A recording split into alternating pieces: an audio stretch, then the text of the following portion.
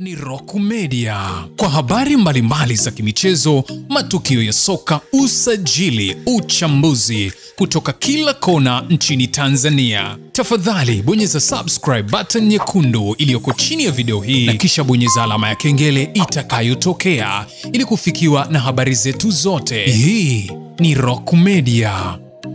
Kama ni mara yako ya kwanza unatembelea chaneli yetu ya Rock Media, tafadhali tunakuomba ubonyeze maneno mekundu yaliyoko chini ya video hii yaloandikwa subscribe, kisha bonyeza na alama ya notification ili kuwa wa kwanza kupata habari za michezo saa ishirini na nne endapo tu pale zitakapokuwa zikitokea au zikijiri toka kona mbalimbali ya dunia. Fanya hivyo sasa ili usiendelee kupitwa na habari kemkem za michezo endapo tu pale zitakapokuwa zikitokea. E bwana, tunafahamu siku ya hii leo ligi kuu soka Tanzania bara.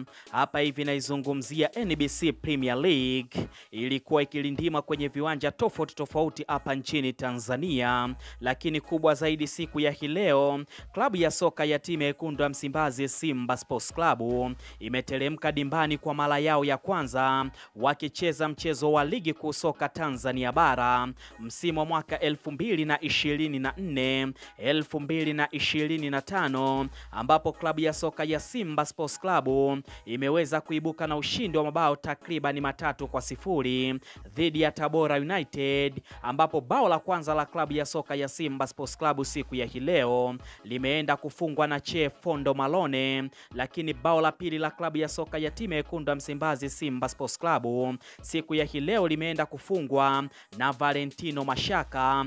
Bao la tatu la klabu ya soka ya timu yekundu ya Msimbazi Simba Sports Club siku ya hii leo limeenda kufungwa na mchezaji mpya hapa hivi namzungumzia Awesu Ali Awesu, mpaka dakika 90 zikaweza kutamatika pale kwenye uwanja wa KMC.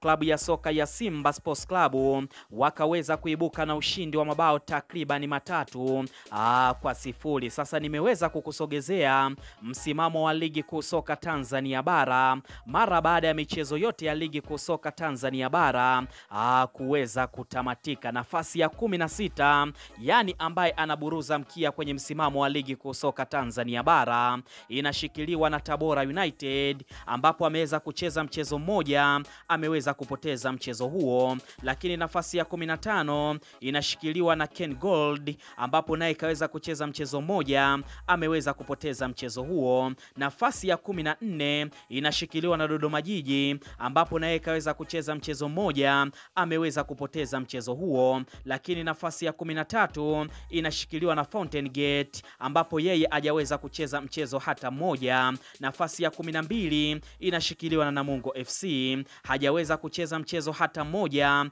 lakini nafasi ya 11 inashikiliwa na KMC, hajaweza kucheza mchezo hata mmoja. Nafasi ya kumi inashikiliwa na JKT Tanzania, haijaweza kucheza mchezo hata mmoja. Nafasi ya tisa inashikiliwa na Kagera Sugar, haijaweza kucheza mchezo hata mmoja. Nafasi ya nane inashikiliwa na Coastal Union, naye pia hajaweza kucheza mchezo hata mmoja. Nafasi ya saba inashikiliwa na Azam FC, haijaweza kucheza mchezo hata mmoja. Nafasi ya sita inashikiliwa na Yanga, haijaweza kucheza mchezo hata mmoja.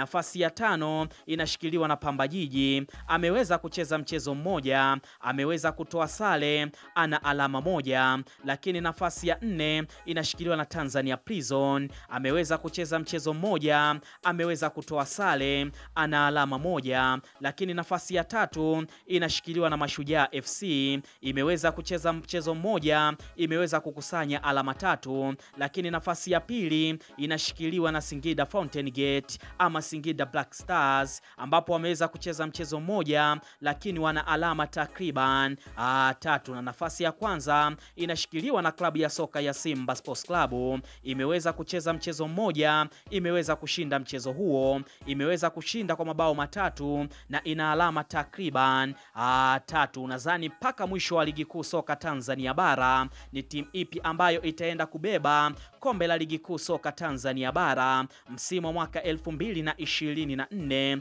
2025? Niandikie hapo hivi chini kwenye uwanja wa comment, kisha usisahau kusubscribe na kubonyeza alama ya notification.